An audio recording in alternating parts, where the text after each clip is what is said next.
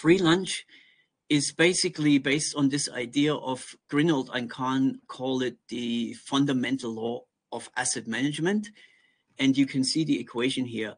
So this equation isn't an exact equation, but it's more of a guideline of how asset management works. And it's the information ratio, which is in a sense equivalent to the Sharpe ratio or the risk adjusted returns equals the IC, which is information coefficient, times the square root of breadth. And information coefficient is basically, we could say roughly is the skill of a portfolio manager. You know, when you are a good portfolio manager, you kind of know how to analyze this.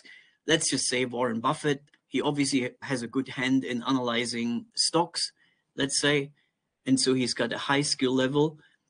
But at the same time, we've got breadth as well. And breadth is effectively how many different products or assets you have under management.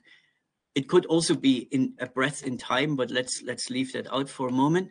So let's just say you have a high skill level, but your breadth, let's say in the case of Warren Buffett, is quite low. So you only have, let's say, 10 or 20 stocks under management. So in order to get a high information ratio, you basically need a very high skill level or information coefficient. On the other hand, if your skill level is not so high, but you actually have quite a large breadth, you can reach the same information ratio, but just by a lower skill level and more broad assets under management.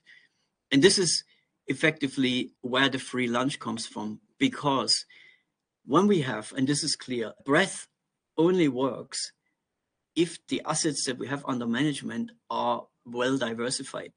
If they're all of a similar nature, then we don't actually have any breadth, which is quite obvious.